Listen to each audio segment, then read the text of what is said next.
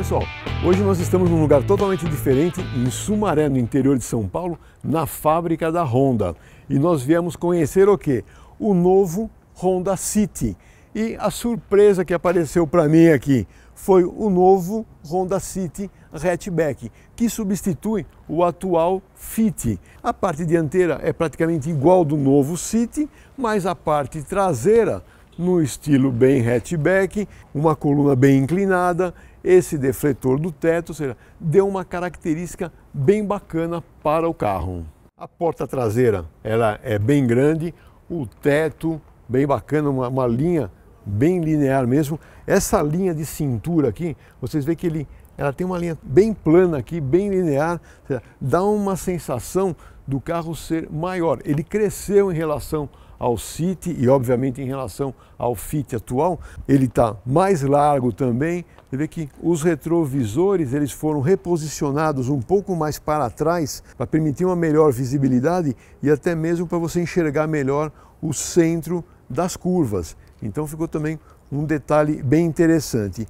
A roda em todas as versões, essa roda com essa face diamantada, pintura escurecida, pneu 185 55 16. Na frente do carro, a gente vê a nova parte de iluminação. Na versão Touring, que é a nova versão de topo, o farol é em LED, com luz de rodagem diurna em LED também, e ainda ele tem o pacote Sense, que incorpora farol alto automático. A gente vê também uma diferença entre as duas grades, né?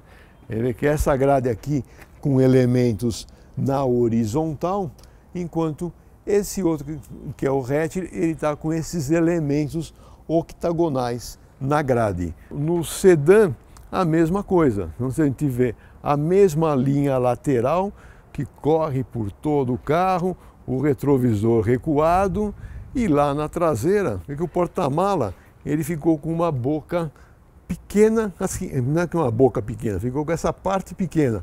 Mas na hora que a gente abrir, vamos abrir aqui, a gente vai ver que a boca, ela cresceu muito. Aqui, ó, essa lateral toda, ela é muito maior do que o City atual. Né? E o porta-mala também tem um volume muito bom e ele utiliza o mini step. Você vê que mesmo aqui por baixo ainda sobrou bastante espaço para colocar alguns pacotinhos a mais. Nós vamos fazer agora aquela avaliação tradicional do AE, do banco traseiro, nos dois carros. Vamos começar pelo sedã. O banco dianteiro eu ajustei para a minha posição, 1,81m de altura, e vamos avaliar agora como que eu fico sentado aqui. Você vê que ele cresceu também, o espaço para as pernas e espaço para os pés. O ângulo do encosto é muito bom, não está é, muito é, levantado, muito ereto, nem muito para baixo. A gente vê, tem aquele descansa-braço central com porta-garrafas. Nesse, nessa versão, você vê que o estofamento é nesse couro claro, bem bacana, teto claro, como eu gosto, bem, bem agradável mesmo em termos de espaço. Seja, além dele ser espaçoso, ele fica um espaço bem agradável pela cor e pelo esse contraste bem forte de cores que a gente vê. Né? Outro detalhe interessante é saídas de ar climatizado aqui na extensão do console e uma tomadinha 12 volts aqui. Aqui já podiam ter mudado isso para uma sem uma saída USB, né? Mas vamos dar o crédito para eles, quem sabe amanhã eles fazem essa melhoria. E a mesma avaliação do banco traseiro, a tradicional do AE, agora na versão hatchback. Aqui antes da gente entrar no carro, quero mostrar uma coisa bem interessante que eu gostei nesse hatch. Ele tem um sistema de deitar o banco aqui, olha, com uma mão só. Você articula o banco e praticamente o assoalho, né, porta-mala com essa extensão, fica totalmente plano. E vamos ver como é, é o conforto e o espaço. Mesma coisa, até um pouco melhor do que o sedã, bastante espaço para as pernas. Esse banco eu tenho a impressão até que o, o encosto está um pouco mais reclinado que o sedã. Eu vou medir isso aí para tirar essa dúvida depois. Nessa versão do hatch, a gente vê que os bancos estão é, estofados né, com revestimento em couro ou na verdade não é couro, né? é um, um tecido que imita o couro na cor preta, então ele fica um pouco mais escuro aqui na parte de baixo, mas ele tem a vantagem do teto em cor clara, perde aqueles contrastes de cores que a gente viu no, no sedã, tem também o descansa-braço central, tem também a saída de ar climatizado. Gostei dessa parte traseira aqui do carro. Vamos ver como que é na parte dianteira agora.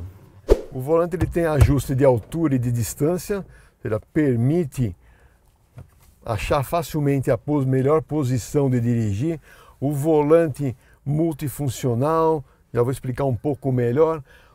A central multimídia, de último, última geração, digamos assim, de 8 polegadas, ela já faz o espelhamento no Android Auto e no Apple CarPlay sem fio, não precisamos dos cabos, mas ficou faltando nessa parte aqui que está prontinha aqui para receber um carregador por indução de, de, bateria de celular, né? Ainda vamos ter que usar as tomadinhas USB. Ainda utiliza o sistema de freio de estacionamento por alavanca Faltou um porta-copo mais aqui, mas ele está aqui na frente, dois porta-copos. O sistema de ar-condicionado é digital, automático, a parte de ajuste de temperatura.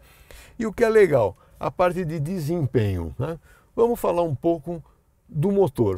É um motor 4 cilindros em linha, montado na transversal, como a maior parte de, de, de carros dessa categoria, com tração dianteira. Tem cárter, bloco e, alu, e cabeçote em alumínio. Tá? O sistema de injeção é direta. Tá? Isso permite o quê? Melhor nível de emissões, melhor consumo. Um motor de 1,5 litros, duplo comando de válvula no cabeçote, sendo que o comando de admissão ele é continuamente variável em fase e em abertura de válvulas. Ele entrega 126 cavalos e 15,5 kgfm de torque máximo. Quando utilizando álcool, são 15,8 kgfm com os mesmos 126 cavalos. Eu já andei com esse carro hoje pela manhã. Ele tem um câmbio CVT que emula sete marchas é, ficou melhor do que a geração antiga do City. É, ele faz em acelerações aqueles steps, né, aqueles passo a passo de troca de marcha, então ele vai simulando aquelas trocas de marcha. Tem mais uma série de características que os engenheiros da, da Honda nos explicaram hoje, mas logicamente hoje foi um test drive muito pequeno, numa pista pequena, plana aqui dentro da fábrica, não foi possível explorar todas as funcionalidades. Mas provavelmente logo após esse lançamento nós vamos estar recebendo um carro e vamos conhecer melhor. Mas de saída, nível de ruído interno é muito bom, muito agradável. A suspensão, ela foi toda recalibrada por engenheiros brasileiros, ou seja, ela é uma suspensão bem adequada para utilização no Brasil, com stop hidráulico no amortecedor, para evitar aquela queda de roda. Então ficou bem bacana o carro. A parte de direção com assistência elétrica, variando, uh, obviamente, a carga dependendo da velocidade. E ele tem um sistema de permanência em faixa, ou seja, ele te mantém, caso você dá uma saída involuntária da faixa, ele te traz de volta, mas mais bacana do que isso, ele tem aquele sistema que mantém você no meio da faixa. Então, fica bem gostoso dirigir e para trechos mais longos fica mais confortável. Aquilo que eu, que eu gosto de olhar, gosto de olhar como foi o trabalho dos engenheiros e tudo mais. Então a gente vê que a parte de coxinização do lado direito do carro, que é um coxim hidráulico, ainda foi colocada uma massa adicional aqui em cima, justamente para melhorar o nível de ruído interno, seja, passa menos ruído pela parte de estrutura. Eles mostraram que o assoalho também é revestido para melhorar o nível de ruído interno. Então ficou um carro bem bacana, bem completo. No caso do hatch, para substituir o atual Fit, é um grande salto e uma inovação na, na parte do, do City Sedan. Bom pessoal, com isso a gente terminou essa breve apresentação do novo Honda City Sedan e do novíssimo Honda City Hatchback. Espero que vocês tenham gostado dessa apresentação. No site vai ter mais informações, ficha técnica, detalhes, como é de costume no AE. Obrigado pela sua audiência e até a próxima.